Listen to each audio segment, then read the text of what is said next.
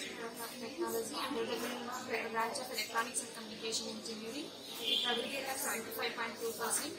Later, I came, I came to uh, J-Spiders to take some cert- uh, certification course. Like I did my course on Java full stack development.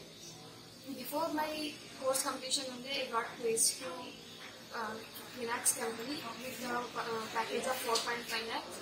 Because of the uh, uh, the reason is the, reason behind the I got placed is here all the trainers are very helpful.